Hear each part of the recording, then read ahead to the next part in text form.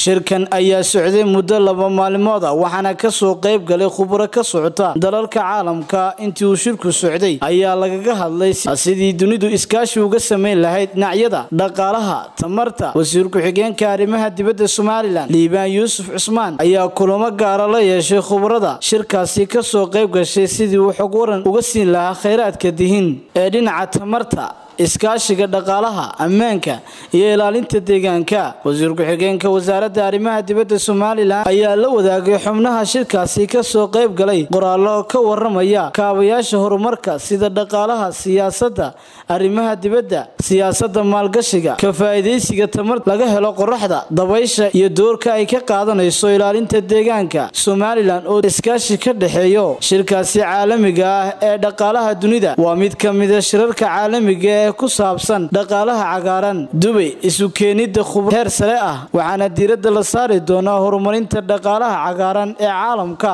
iyo ajandaha shirka joogtaynta muddada uu socdo. Shirkii wadaagga dhaqaalaha dunidu waxa uu isku keenayaa khabuuro caalami ah oo ka shaqeeya qaybaha muhiimka ee adduunka oo dhan si looga gaadho dhaqaalaha caalamiga ee cagaaran iyo qorshaha waaritaanka himilooyinka horumarinta ee qaramada midoobay. Shirkan oo ay soo qabanqaabisay hay'adda horumarinta dhaqaalaha caalamka ee world green economy oo lagu qabtay magaalada dubay ee isku tagga wadankaasi imaaraadka carabta waxaana ka soo qayb galay sheekh maxamed bin rashiid almuduud ra'iisul wasaare ku-xigeenka wadankaasi iyadoo la kaashanaysa golaha sare ee shacabka. Shirku waxa uu soo bandhigay xaalado cusub iyo hanaan horumineed si loogu dhiirigeliyo isbeddel abuurayaan jawi sahlan iyo habka deegaankaas si loo helo kobcitaan cagaaran oo wax ka qabta baahiyaha hadda iyo mustaqbalka. Shirkan ayaa lagaga hadlayay saddex qodob oo kala duwan hogaanka iyo ka qaybgelinta bulshada.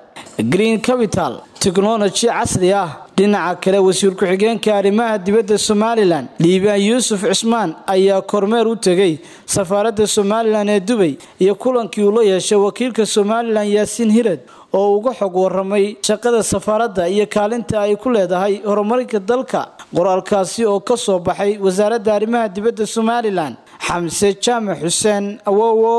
star t v. Hargeysa